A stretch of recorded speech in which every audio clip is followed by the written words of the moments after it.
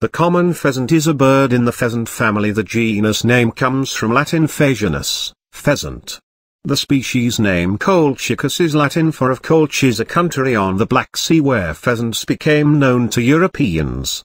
It is native to Asia and has been widely introduced elsewhere as a game bird.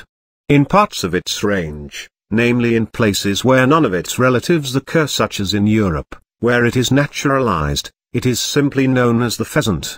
Ring-necked pheasant is both the name used for the species as a whole in North America and also the collective name for a number of subspecies and their intergrades that have white neck rings. It is a well-known game bird, among those of more than regional importance perhaps the most widespread and ancient one in the whole world. The common pheasant is one of the world's most hunted birds, it has been introduced for that purpose to many regions, and is also common on game farms where it is commercially bred.